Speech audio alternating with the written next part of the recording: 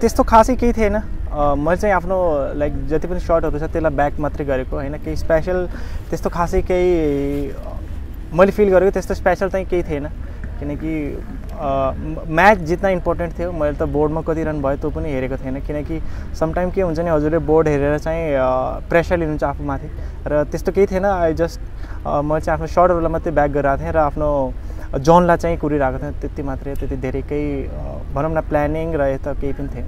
निकै नै इफोर्टलेस सर्टहरू थियो होइन? अब स्पेसली हेर्ने हो भने त्यति पावर पनि युज गर्नुभएको थिएन होइन? कसरी सम्भव भयो? त्यत्रो ठुल्ठुलो छक्का टी टेनमा जाँदाखेरि चाहिँ मैले वक गरेको थिएँ होइन? धेरै प्लेयरहरूसँग चाहिँ उता भनौँ न प्र्याक्टिस गरिरहेको थिएँ र सबैजनाले भने कि तिमी ब्याटिङ राम्रो पनि गर्छ तर स्विङमा वर्क गर त्यसमा गरिरहेको थिएँ। अनि डिमार्ट बोर्डसँग पनि यहाँ भनौँ न एक दिन मैले इन्डोरमा चाहिँ ब्याटिङ गर्ने मौका पाएको थिएँ र उहाँले मेरो स्टान्स र मेरो ब्याकलिफ्ट पनि चेन्ज गराउनु भएको थियो। अनि त्यतिखेर मैले बटमोर सरलाई पनि भनेको थिएँ कि अब चाहिँ म कन्फिडेन्ट फिल गरिरहेको छु र आई होप मैले यहाँ ओपनिङ पनि गर्छु अनि मैले राम्रो पर्फर्मेन्स पनि गर्छु भनेर भनेको थिएँ र त्यो गर्दाखेरि चाहिँ खुसी लागेको छ कोचले आउँदा बित्तिकै आफ्नो भनौँ न स्किलमा वर्क गराउनु भयो एक दिन र राम्रो म एज ए ब्याट्सम्यान हजुरलाई कन्फिडेन्ट आउन चाहिँ एकदमै इम्पोर्टेन्ट हुन्छ अनि त्यो त्यो दिनदेखि नै मलाई एकदमै कन्फिडेन्ट आयो ब्याटिङमा र मेरो स्टान्स र मेरो हेडको प्रब्लम थियो पहिला। उसमा वर्क गरेपछि चाहिँ आई फिल गुड र मैले आफ्नो सर्टहरू चाहिँ ब्याक गरेर आएको छु fast Sompal Kami fast bowling अलराउन्डरको रूपमा चिनिनुहुन्छ होइन? अब चाहिँ जिन्युन अलराउन्डरको रूपमा इस्टाब्लिस हुन खोजिरहनु भएको छ। त्यस्तो मेरो अब पहिलादेखि प्लान त्यही हो कि म ब्याटिङ पनि गर्छु। र नेपाल टिमलाई जति हुनसक्छ ब्याटिङमा पनि पर्फर्मेन्स गरेर देऊँ होइन?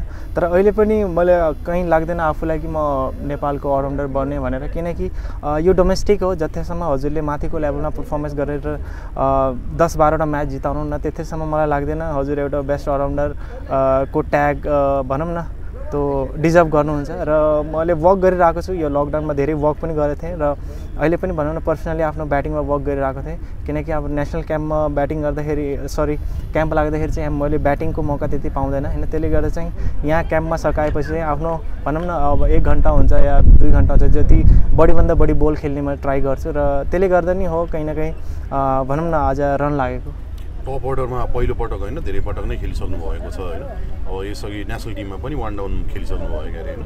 अब चाहिँ टप अर्डरमै ब्याटिङ गर्छु म भन्ने कन्फिडेन्स डेभलप भएको छ कि के हो खास? कन्फिडेन्ट अब म नेपाल आउनुभन्दा पहिला चाहिँ ब्याट्सम्यान थिएँ। होइन म नयाँ बोल्ने पनि खेल्थेँ अनि मलाई मजा पनि आउँछ नयाँ बोलले खेल्न। किनकि इन्डियामा खेल्दाखेरि धेरै अब नयाँ बोली फेस गर्थेँ त्यसले गर्दा फुल कन्फिडेन्ट थिएँ अनि यहाँ आएपछि चाहिँ बोलिङ गर्दा चाहिँ अब मेरो बोलिङ जिरो थियो टु बी अनेस्ट भन्दाखेरि तर मैले बोलिङमा पनि वर्क गरेको र सडन्ली अब शक्ति दाईले छोडेर क्रिकेट छोड्दाखेरि चाहिँ उहाँले भन्नुभएको थियो कि सोमी अब तिमीलाई ब्याटिङ पनि गर्नुपर्छ र उसमा पनि वर्क गर्नुपर्छ। अनि त्यो चाहिँ मेरो माइन्डमा जहिले पनि थियो। किनकि शक्ति दाईले जहिले पनि मलाई ब्याक गरिरह हुनुहुन्थ्यो र कहिले जहिले पनि फोन गरेर या सँगै हुँदाखेरि म चार वर्ष जस्तै मैले भने शक्ति दाईसँग क्रिकेट खेल्दाखेरि म उहाँको रुम पार्टनर थिएँ। र एभ्री डे उहाँले रिस्पोन्सिबिलिटी नामको चिज के हो भन्ने मलाई सिकाउनुहुन्थ्यो र बुझाउनुहुन्थ्यो पनि। र जानभन्दा पहिला यही भन्नुभएको थियो कि बाबु तिमीले चाहिँ ब्याटिङ पनि गर्नुपर्छ नेपालको लागि र तिमी तिमीमा ब्याटिङ स्किल छ र वर्क गरेर पनि भन्नुहुन्थ्यो पर्सनली होइन? अनि त्यसैमा वर्क पनि गरिरहेको थिएँ र रन पनि लागिरहेको छ र एकदमै खुसी छु। यो होल टुर्नामेन्ट चाहिँ ओपनिङै गर्ने प्लान छ।